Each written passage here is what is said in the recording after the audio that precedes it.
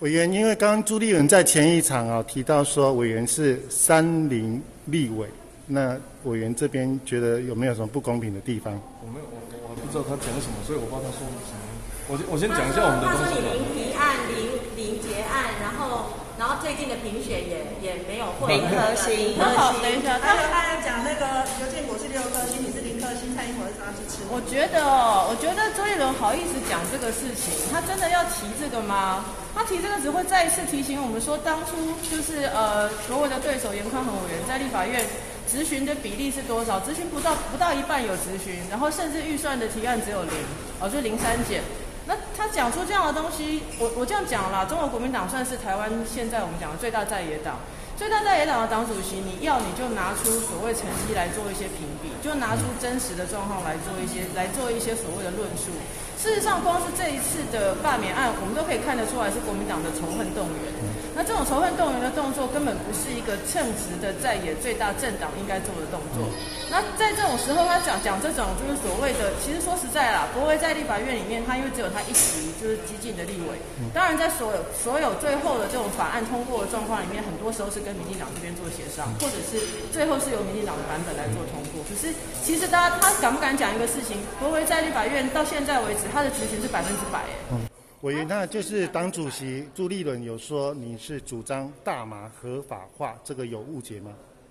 这个误解一定很大。没有了，提案树林也不是事实啊。但是你看我们现在，大家在访问我，却都是在问其他人的事情。那那从从这一阵子的这个铺天盖地的抹黑，看得出来啊，民众跟甚至像昨天已经有体育主播啊，不顾他的这个风险跳出来澄清。那他们这样子乱枪打鸟的饱和式攻击，受伤的是谁？受伤的是台湾的民主跟我们选区的民众啊！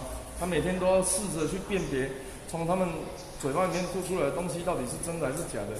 那提案树林这个就根本不可能是事实，这个用反射神经想也知道这个不是事实，立法院都可以查嘛。